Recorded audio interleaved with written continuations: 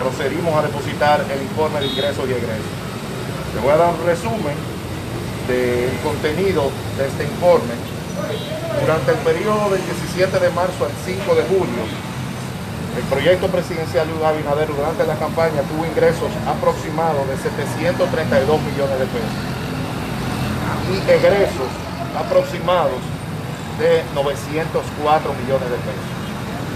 En dicho informe está todo el detalle de todos los aportantes de la campaña y todos los gastos detallados como lo dice la ley. Está en secretaría que la prensa en su momento puede tomar conocimiento de él. Muchas gracias. Bueno, ahí ya escucharon.